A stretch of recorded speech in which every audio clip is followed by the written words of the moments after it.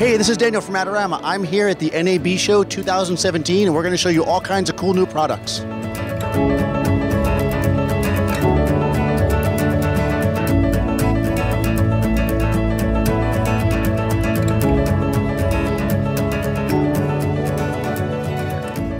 Hey, this is Daniel from Adorama. I'm here with Snehal from Zeiss, and we're looking at the brand new uh, CP3 lenses. So, I guess give us a little bit of background on what these lenses are and, and kind of their predecessor and what the improvements and so on. Absolutely. So, CP2s were our most successful, actually the most successful cinema lens in the whole world. And if we were going to make improvements, we really wanted to push the envelope.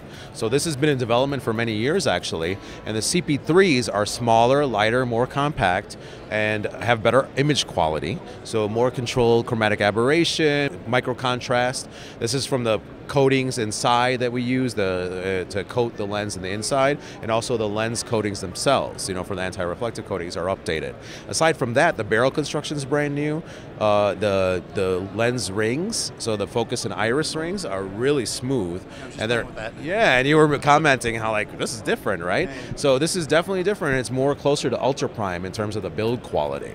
On top of that, we offer a version of the lens that is called the XD version that actually has data that comes through the lens. So in this setup right here that we're showing, we have a, a master Lockit box and we're using the Cooke /i protocol. So we are a slash eye partner. And instead of going the LDS route like we did with Master Primes for ARRI, we actually did Cooke /i because it's more open source. So that's the XD. So depending on what focal mark you're on, it's a different distortion. And what iris mark you're on, you get a different shading.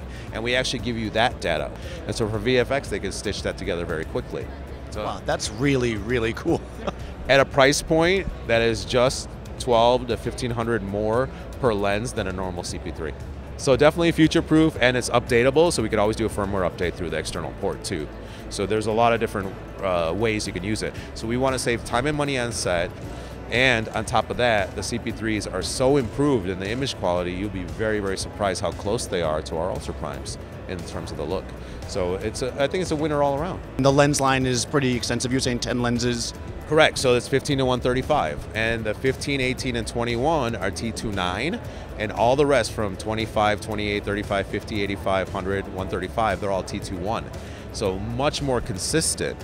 So for lighting purposes, if I just shot at T29, I can go from the whole range from start to finish. And T29 gives you very pleasing out of focus and bokeh. So it's it's what people are looking for. They want to shoot wider, open, you know. So we allow you to do that and uh, remain consistent with your lighting. So you're not like, oh my God, for this like super close up, now I gotta put twice as many lights on there or three times as many lights. So that's amazing. Well, this looks really great. I'm looking forward to using these because we uh, while I don't have them in my kit yet, uh, yeah, the CP2s we, we rent all the time, so uh, we love using them. So I'm sure we'll love to play around with these a bit. Thanks for talking with me.